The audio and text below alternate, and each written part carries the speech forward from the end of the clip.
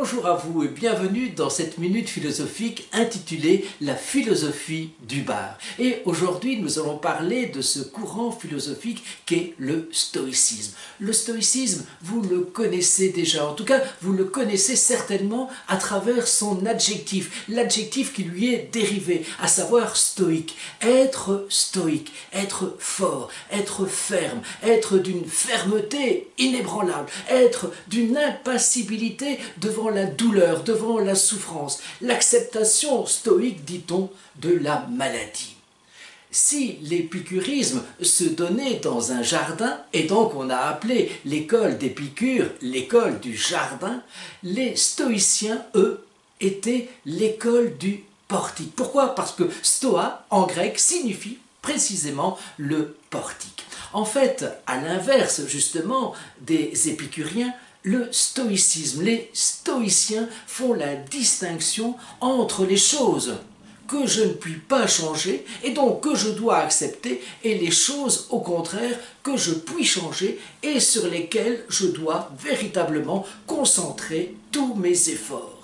Les choses que je ne puis pas changer, je dois les accepter. C'est, à mes yeux, la notion même de laisser être. Accepter les choses que je ne puis pas changer. Et donc, les assumer. Et j'aime bien le substantif dérivé de ce verbe assumer.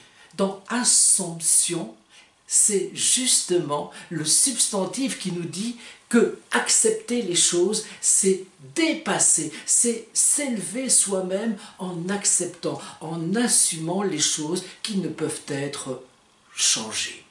Les stoïciens également sont comme les épicuriens, à la recherche, souvenez-vous, de cet équilibre intérieur, de cette paix, de cette pacification, de cette sérénité intérieure, mais précisément avec effort. C'est l'ataraxie épicurienne, c'est l'ataraxie stoïcienne. Souvenez-vous, A, alpha privatif, taraxeia, à savoir les troubles, l'absence de troubles, à travers la pathie, diraient les stoïciens, c'est-à-dire l'absence même de toute passion.